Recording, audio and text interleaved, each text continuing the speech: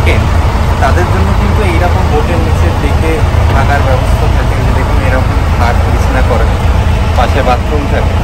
তো এটাও কিন্তু একটা মোড অফ ঘোরা। মানে যারা একটু বাজেট ট্রাভেলিং করেন, সুন্দরবনে এসে, তারা কিন্তু এই নৌকাতেই রাত্রে স্টে করে।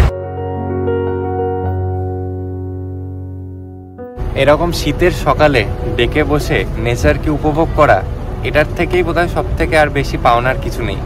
অ্যানিমালস আপনাদের লাখের ব্যাপার। উনি বলছিলেন এখানে টু হান্ড্রেডের বেশি types of birds and different অন্য অ্যানিমালস আছে।